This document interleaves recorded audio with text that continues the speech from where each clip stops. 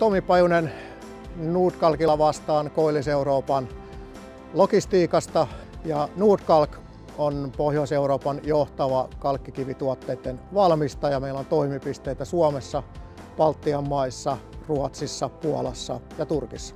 Meillä oli todella vanhat vaakajärjestelmät käytössä 1990-luvulta, eli se oli jo riski bisneksenkin kannalta, että jos kyseiset laitteet loppuvat toimimasta, niin varausia ei löydy mistään.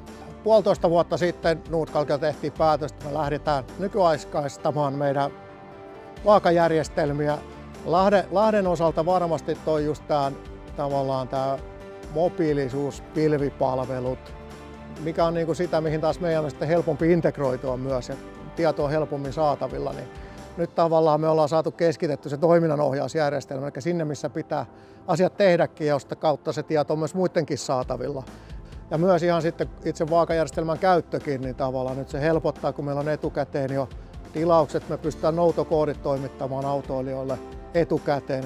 He saapuvat vaalle, ei tarvitse välttämättä nousta edes autosta pois. Sä pystyt mobiililaitteella suorittamaan punnituksen. Siitä on niin tosi positiivisesti yllättynyt. Eli Lahden kanssa niin he on ottanut niin kuin asiakkaan haltuun ja ajaa sitä asiakkaan asemaa kanssa ja, ja vie asioita myös omalla puolella niin, että ne asiakkaan toivomukset toteutuu.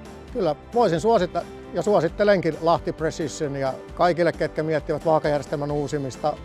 Meillä on ollut hyvin positiiviset kokemukset, ovat hyvin proaktiivisia, hyvin asiakaslähtöisiä, reagoivat asiakkaiden tarpeisiin ja haluavat itsekin kehittää omaa palvelua kohti tulevaisuuden tarpeita.